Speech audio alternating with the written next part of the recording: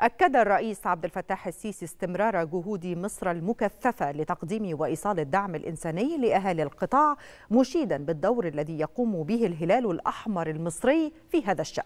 وخلال اجتماعه مع نيفين القباج وزيرة التضامن الاجتماعي اطلع الرئيس السيسي على الجهود التي يقوم بها الهلال الأحمر المصري لإنقاذ لإنفاذ المساعدات إلى الأشقاء الفلسطينيين في القطاع.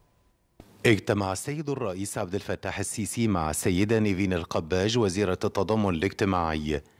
المتحدث الرسمي باسم رئاسة الجمهورية المستشار أحمد فهمي صرح بأن الاجتماع تناول عددا من الموضوعات وعلى رأسها المساعدات الإغاثية لغزة حيث اطلع السيد الرئيس على الجهود التي يقوم بها الهلال الأحمر المصري لإنفاذ المساعدات إلى الأشقاء الفلسطينيين في القطاع.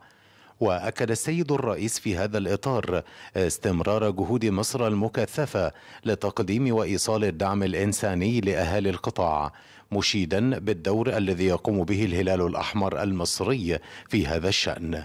وأضاف المتحدث الرسمي أن الاجتماع تطرق إلى دور المجلس القومي لرعاية أسر الشهداء والمصابين.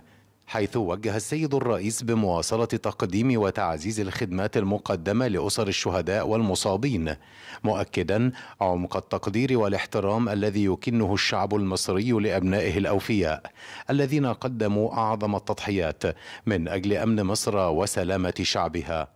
وتناول الاجتماع كذلك متابعة الجهود التي تقوم بها وزارة التضامن الاجتماعي لدعم الأشخاص ذوي الاحتياجات الخاصة خاصة الخدمات الموجهة للسيدات ذوات الاحتياجات الخاصة.